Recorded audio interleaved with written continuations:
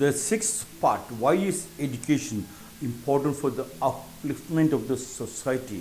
First of all, this education is very, very important, but not in the classrooms. When you make the child sit in the classrooms non stop and you blah blah blah, you talk theory, you are indirectly training the child to be in the jail. Indirectly, you have uh, told the child you are a convict to be to be put in a classroom by shutting your mouth no creativity from your part only what we said and on that direction on that narrow minded direction you should move.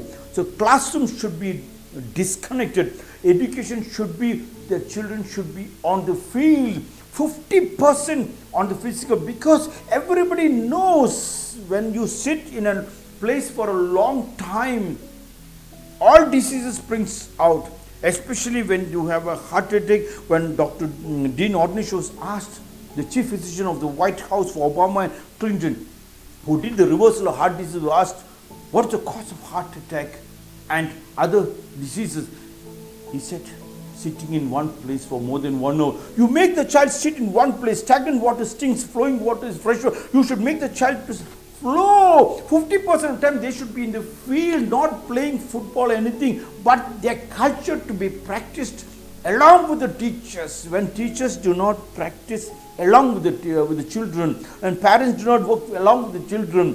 Gurus and Swamijis like us sit in the chair and give lectures and without working like a karma yogi right into the street, then education. They must work right into the street, right into the field.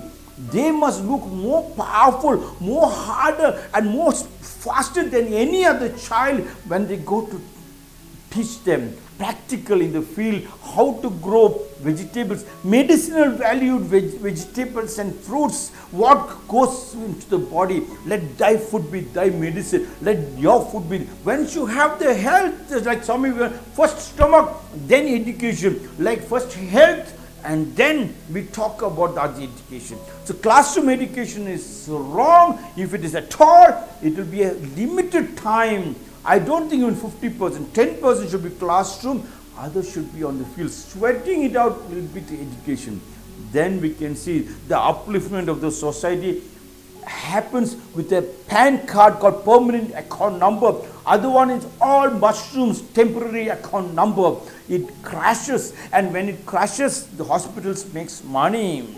Companies and uh, factories makes money and in that making money, nothing wrong, but a three letter falls into our lap and that three letter word is called war w a war war war.